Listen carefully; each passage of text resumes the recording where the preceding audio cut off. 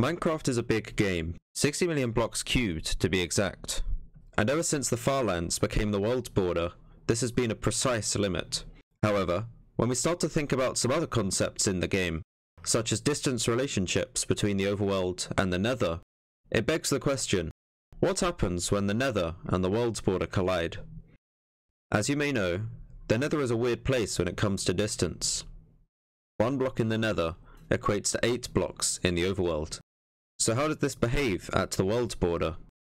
After all, both dimensions have a border of 30 million blocks, so when I build a portal in the nether, at the world's border, how does the game react in the overworld? Let's start in reverse.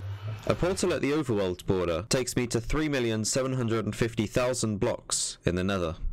This still gives me 26,250,000 nether blocks to work with, so what do our nether portals do in this significant percentage of the nether? Well, the outcome is a little disappointing. Any portal built in this region will spit you out in the overworld, approximately 100 blocks within the world border. This means no hopping out free in the farlands for Steve. While it would be nice to have a technique to travel even further than the world border, it is understandable why Mojang set this limit, as the world border is there for a reason.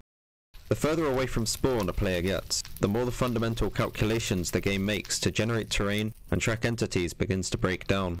Mojang decided that 30 million blocks should still give the player enough room to work with, without allowing them to go too deep into the algorithm and begin seeing the dark side of Minecraft. I will link to some additional resources in the description, including videos and wiki pages. Thanks for watching.